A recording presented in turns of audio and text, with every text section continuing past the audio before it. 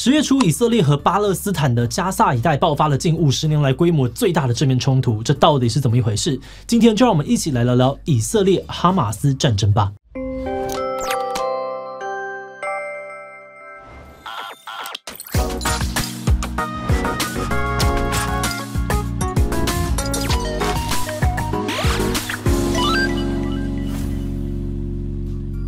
大家好，我是志奇。十月七号，巴勒斯坦加萨走廊的哈马斯组织对于以色列发动大规模突袭，随后以色列下令全国进入战争状态，并对加萨展开报复性空袭，誓言要彻底歼灭哈马斯。而这也是以色列自一九七三年赎罪日战争以来首度正式宣战。目前战事还在进行当中，截至录影前，双方合计有超过五千五百人死亡，其中大多数都是平民。报道指出，这是以色列和巴勒斯坦这块土地上面近五十年来最严重的一场冲突，而且战火可能继续扩大，甚至对于整个世界局势造成巨大的连锁反应。那我们今天就来聊聊，一向以军事实力著称的以色列为什么没能防范这一次的突袭？哈马斯在此时突袭以色列背后又有什么样的目的？不过在开始今天的讨论之前，先让我们进行工商服务时间。如果你对议题讨论、分享知识很有兴趣，也正在寻找写作相关的工作，那就千万不要错过自己机器的新职缺哦。我们希望能够邀请更多。影片内容计划的加入，帮助我们制作更丰富的主题内容。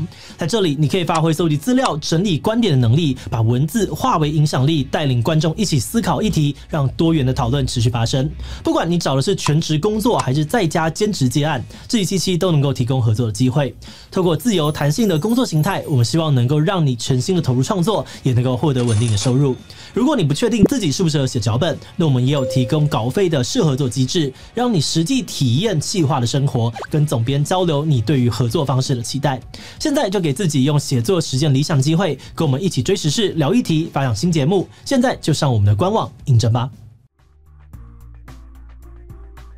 要介绍哈马斯，就要回顾到以巴冲突的来龙去脉。不过今天我们只会比较简略的介绍，建议大家呢可以去看我们之前做过这部影片或者资讯栏里面的参考资料。那简单来说，哈马斯的由来呢可以追溯到二战结束之后，当时联合国决议把原先巴勒斯坦土地一分为二，分别给犹太人和世居当地的巴勒斯坦人各自建国。不过，巴勒斯坦人和周边的阿拉伯国家对于领土划分感到不满，因此以色列一建国，双方就开战了。这多次战争下来，最后以色列占领了巴勒斯坦八成的土地，导致了大约七十万的巴勒斯坦人变成难民。至于剩下两成的土地，也就是约旦河西岸和加萨走廊，虽然名义上面是巴勒斯坦，但从经济啊到社会各方面都受到以色列政府的掌控。这样子的情况呢，让很多巴勒斯坦人觉得自己被殖民，像是二等公民被对待，而发起了两次起义运动。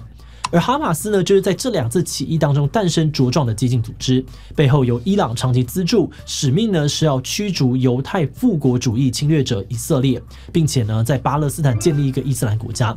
与哈马斯相对的是外界普遍认定的巴勒斯坦自治政府。这个政府长期由法塔赫主导，他们最初的路线呢也比较激进哦，但后来变得相对温和，还曾经在九零年代跟以色列签署过和平协议。不过协议并没有成功的换取和平哦。此后的三十年，以色列在巴勒斯坦土地内部署军警，在边境盖起高墙，法塔赫几乎没有任何反制的手段。巴勒斯坦人民生活陷入更深的困境，也开始对法塔赫失去信心。于是，在二零零六年巴勒斯坦上一次大选当中，哈马斯就压倒性的票数赢过法塔赫，成为了国会最大党。就在隔年哦，哈马斯就把法塔赫政权从加萨驱逐出去，形成了约旦河西岸和加萨两地分治的状况。而这也导致加萨遭到了以色列更严格的封锁，并饱受以哈之间的战火摧残。而这一次冲突呢，规模又更胜以往。十月七号，犹太安息日当天凌晨呢，哈马斯展开了他们称作阿克萨洪水行动的突袭，先是对以色列的南部、中部发动空袭，发射至少五千枚火箭炮。接着，上千人的武装部队陆续以滑翔翼等等的方式跨越屏障，进入以色列，攻击多个军营、犹太人聚落和一场大型音乐节活动。事发二十四小时内呢，就造成了超过一千三百人死亡，也创下了以色列建国以来单日最多人死亡的记录。此外，哈马斯撤回加萨的时候，还掳走了上百位人质，并且呢，以这些人质的生命威胁以色列不要轰炸加萨。而以色列官方则是将这一次哈马斯出乎预料的突袭形容为九一一恐怖攻击，并且正式宣战，誓言会不惜代价消灭哈马斯。总理纳坦雅胡更警告加萨公民马上离开，扬言要把加萨变成一座荒岛。随后，以色列开始对加萨密集空袭，炸毁了多处的民宅、清真寺、学校等等建筑，并且下令全面封锁加萨，并实施不给水、不给吃、不给油的政策，切断送往加萨的各种生活基本物资。另外呢，以军还征召了破纪录的三十六万名预备役报道，并且呢，在冲突发生一周之后，在边境集结地面部队，突袭加萨部分的地区，为地面战做准备。那虽然以色列的反攻相当猛烈哦，但在冲突爆发最初，军事强国以色列被杀个措手不及，令外界非常惊讶。前以色列国安顾问更直言，这是以色列情报系统与南方军事组织的一次巨大失败。从局势分析来看呢，这次以色列被哈马斯突袭的原因可以从两个方面来谈。首先呢，是以色列在情报还有军力配置上面的失误。根据以色列国安人员表示呢，这次情报系统不仅没有掌握到哈马斯的真实计划，反而还落入了哈马斯的陷阱，被监听到的资讯误导，以为哈马斯近期都想要避免冲突。而在军备上面，则是过度的依赖边境的监控系统，认为实体屏障再加上重金打造的远程监控武力系统，能够拦下大规模渗透而减少边界的兵力，甚至把把南部的指挥官都集中在同一个基地，结果哈马斯找到了远程系统弱点，用无人机摧毁基地台，让整个监控系统直接失效，通讯也受阻。所以哈马斯突破边境的时候呢，前线的以军士兵根本没有收到警报，而指挥官聚集的那个基地也在第一时间被攻陷，导致以军无法快速的反应、协调、整合部队。军事分析指出的第二面向呢，是哈马斯的运筹帷幄。他们不仅在过去一年里面几乎没有主动的参与任何的战争，上个月在卡达的斡旋之下，还跟以色列达成了一项协议，结束了一起骚乱事件。以色列军事专家认为，哦，这种种迹象呢，使得以军认为哈马斯还没有做好战斗准备，不希望事态升级而掉以轻心。另外，这次哈马斯的突袭呢，不仅行动协调一致哦，复杂的程度也更胜以往。因此，普遍认为这是策划已久的行动，背后也可能有伊朗等等外部势力的协助。那如果是这样子，哈马斯又为什么选择在这个时间点展开突袭呢？普遍认为，哈马斯这次突袭的目的呢，跟近年西亚外交格局的变化有关。自从上个世纪以色列先后跟埃及、约旦建交之后，跟阿拉伯世界的外交关系就迟迟没有更大的进展。直到二零二零年，才会在美国的斡旋之下，先后跟阿联、巴林两国签订协议，并正式建交。这些由美国出面担保，让以色列跟阿拉伯国家关系正常化的协议，又被称作是亚伯拉罕协议。而他们的下一个目标呢，是近年美国积极拉拢的区域强权沙地阿拉伯，也就是沙特。而就在九月呢，美以沙三方呢，又正式的就亚伯拉罕协议再度的展开谈判。华尔街日报等等分析指出，哈马斯会在此时突袭，就是想要破坏亚伯拉罕协议，试图迫使包含沙特在内的阿拉伯各国去批评以色列，拒绝跟他们建交，甚至让已经建交的国家倒戈。另外，有分析认为，哦，这也可能跟哈马斯的金主伊朗有关，因为以色列在阿拉伯国家的外交发展，可能会让伊朗进一步被国际孤立。而在今年的三月呢，伊朗其实才在中国斡旋下跟沙特恢复建交，显示出沙特的立场可能还在摇摆。那这时爆发区域冲突，不仅可能阻止以沙建交，还可能动摇阿拉伯世界对于美国的信心。而美国留下的权力真空呢，就有机会由伊朗跟伊朗的盟友补上。分析进一步指出，如果把这些更广泛的世界局势都考量进来，那这次哈马斯的行动恐怕就不是单纯的区域冲突，更反映着以美国为首的西方世界所面临的危机。根据美国保守派智库胡佛研究所跟端传媒的分析，这次哈马斯之所以有机可乘，是由于以色列和欧美各国呢都正在面临内部的分化而无暇他顾。去年底哦，纳坦雅胡第三度就任总理之后，开始推动的司法改革，引起了以色列国内很大的反对声浪，从民间、内阁到军方都有反对声浪。所以近几个月来，以色列政府都在忙着面对蔓延全国的抗议活动，还有内部的政治斗争。而且除了以色列，其他西方国家也有相同的问题，尤其美国明年就要总统大选，两大党都各自忙于选战。前阵子呢，美国参众议院还因为预算案争论不休，导致政府一度面临关门危机。与此同时呢，乌俄战争还在继续，美国和欧洲各国都在面对不断增加的军援支出，还有战争导致的物价与震惊问题，注意力同样被分散。那这些分析也指出，不仅哈马斯可能借着西方的分化逮到机会突袭，这次以哈的冲突也会反过来加剧西方的分化，而这背后反映的是中、俄、伊朗、北韩等等反西方轴心国的威胁。首先，俄罗斯入侵乌克兰哦，又伊朗涉入哈马斯对于以色列突袭，显示出他们的策略可能是在多条战线上面发动攻击，试图分散西方势力和国际社会的注意力，进而颠覆以美国为首的世界秩序。以伊朗为首的什叶派势力向来跟哈马斯关系深厚，反应呢也不出外界预料，都是大力的肯定哈马斯抵抗以色列殖民占领的义举，甚至也透露可能参战的意图。伊朗虽然否认参与这次哈马斯的关系，但表示呢不会对以色列在加沙的暴行坐视不理，更呼吁阿拉伯国家共同对抗以色列。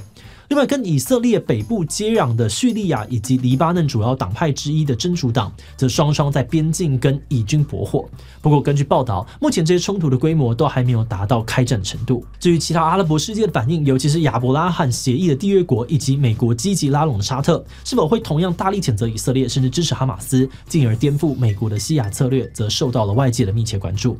那包含了亚伯拉罕缔约国和沙特在内，多数国家初步的官方表态都显得相对的保守。虽然有不少国家将冲突的根本原因归咎于以色列对巴勒斯坦的侵略占领，但谴责力道并不算非常强烈。各国声明的重点多半还是摆在呼吁保护巴勒斯坦人的生存权利上面。而阿联等等的国家呢，也陆续宣布提供加萨人道物资。与加萨接壤的埃及呢，也表示已经跟西方各国协商，会协助物资的运送。西方各国的反应呢，则可以分成官方、社会两个层面来谈。首先，有在官方表态上面，欧美各国都谴责哈马斯恐攻，并认同以色列有权自卫，但也强调以色列呢必须要顾及巴勒斯坦人人权。美国就明确表示会全力支援以色列铲除哈马斯，也已经派出舰队增加军援。但同时，拜登呢也公开强调，哈马斯不等于巴勒斯坦人，并且说呢，以色列占领加萨是重大错误，应该要正视巴勒斯坦的建国需求。欧盟则同样的谴责哈马斯有支持以色列自卫，但也宣布增加对于加萨的人道援助，并且要求以色列尊重人权。欧美外长呢更是批评以色列全面围困加萨的举动呢违反了国际人道法。那至于欧美社会上面，则出现了严重的对立跟冲突，不仅反犹反穆斯林的情绪都有所上升，更出现了仇恨犯罪。日前，美国一名男子就疑似因为仇视穆斯林，持刀攻击一对穆斯林母子，导致六岁男童身亡，母亲重伤。而且就在隔天，比利时一名穆斯林男子呢，就声称要替那位穆斯林男童报仇，而持枪杀害了两名瑞典人。与此同时，支持以色列打击恐怖分子和支持巴勒斯坦反抗压迫的两派声音，也从网络蔓延到了街头，出现了多场挺以挺巴的集会活动。而包含像是法国啊、德国柏林市等等部分政府呢，也以避免冲突加剧的名义，下令禁止取缔支持巴勒斯坦示威，支持以色列的活动则暂时不受到影响。而至于被称作是反西方轴心国的中俄官方，则是从初期的沉默或模糊，进一步的转向批评以色列。俄罗斯呢，起初没有表态，直到冲突爆发三年之后，普京才呼吁双方停止流血事件，并且警告以色列若地面进攻呢，会导致大量的平民伤亡。而至于中国起初呢，则是呼吁双方停火，没有明确的谴责任何一方。到了事发一周之后呢，中国外长又批评以色列的行为已经超越自卫范围，并且再次强调让巴勒斯坦建国才是解决冲突的根本之道。从十月七号到现在哦，以哈之间的战争已经持续将近两周。根据统计，以色列方面呢有超过一千三百人死于哈马斯的突袭，其中有八十人是非武装平民。另外有一百九十九名以色列人被哈马斯掳做人质，其中大约有七成是平民哦。而除了以色列人呢，也有一些外国公民被掳做人质。据哈马斯声称呢，人质的总数大约是落在两百到两百五十人之间。加沙方面则有至少一千五百名的哈马斯战士和两千七百位的平民死于以军的攻击。另外，根据联合国资料，至少有一百万人，也就是呢近半数的加萨巴勒斯坦人流离失所，而且加萨在缺乏水电、粮食、医药等等物资的情况之下，还可能爆发更严重的人道危机。那虽然包含联合国、欧盟、阿拉伯多国呢，和不少的 NGO 都宣布展开人道救援计划，但在边境被以军封锁、轰炸的状况之下，物资的运送还是困难重重。那尽管现况已经很惨烈哦，但许多的军事分析担心未来战况可能会更糟。他们认为以军的下一步可能是全面的发动地面战，在加萨进行清乡扫荡，来达成歼灭哈马斯的目标。那可能就会造成加萨巴勒斯坦人死伤更加的严重。哈马斯这边呢，则可能获得黎巴嫩真主党啊、叙利亚，甚至是约旦和西岸巴勒斯坦人的政治响应，以开辟新的战线来分散以军兵力。那战火要是烧得越久越广，势必呢也会对美国、欧洲的国防工业形成挑战，考验他们如何同时支持乌克兰、以色列的两场战争。甚至有分析认为，反西方轴心国呢，可能还会发动其他的冲突，进一步的分散西方的势力，比如台海就可能是下一个目标。不过，多数的分析也指出，目前战况还在初期的阶段，还有很多的变数。像是十七号加萨医院遭到轰炸之后，虽然以军否认犯案，说这是巴勒斯坦圣战组织误射火箭导致的，但还是引来了阿拉伯各国对于以军的齐声谴责，也让国际社会更关注加萨的人道危机。那未来如果更多类似的事件发生，也可能对于战争的走势造成更多的变数。我们在做这集的时候，一直想到了一年半前乌俄战争爆发时人心惶惶的状况。但不同的是，当时包含台湾在内的国际社会舆论意见都还算比较一致，都是认为俄罗斯侵略乌克兰。只是这一次以色列和哈马斯之间的冲突呢，反应就复杂的多了。有人支持以色列人，有人支持巴勒斯坦人，有人反对哈马斯，也有人反对以色列政府。我们觉得这或许也反映出了巴勒斯坦那块土地常年的恩怨纠葛，跟双方背后的国际角力到底有多么的错综复杂，甚至复杂到巴勒斯坦议题仿佛成了一块烫手山芋，不断的被搁置，也让仇恨、战火和苦难也在叠加，越积越厚。要认真追究起来啊，这个议题呢，其实有上千年的历史，可以从西元前犹太人占领迦南开始谈起，也可以呢从犹太人被罗马逐出耶路撒冷谈起，或是呢从一战后鄂图曼帝国被西方列强瓜分说起，又或者是我们前面讲到的从二战后以色列建国说起。这么觉得呢？到底这样子的千年纷争要用什么样的角度去看，又该如何去衡量因果对错，真的是非常的困难。但至少就目前来说，我们认为最重要的还是人们，无论是以色列的人民或巴勒斯坦人民的生存权利，也真的只能希望交战双方能够更多的顾及平民的生命安全。那最后想要问大家的是，你觉得这场战争接下来会造成什么影响呢诶以军应该很快就能够拿下哈马斯，甚至可能会全面占领加萨吧。B，感觉会持续好一阵子哦，然后美国会忙不过来，导致整个世界秩序被颠覆。所以以军这一次应该也不会真的全面进攻，久了就会回到开战前的状况吧。D，不知道，只觉得看世界这样子乱糟糟的好心累。一其他留言分享你的想法吧。最后，如果你喜欢今天影片，欢迎放出去，让更多人认识以色列跟哈马斯的战争。此外呢，也可以点击这个地方看看以巴百年恩怨以及以色列跟阿联正教讨论。那么今天的这一期期就到这边告一段落，我们就明晚再见喽。